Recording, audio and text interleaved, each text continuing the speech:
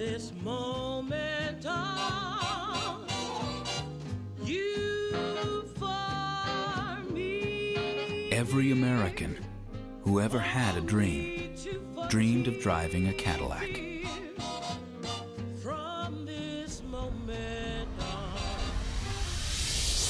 It's time to start dreaming again.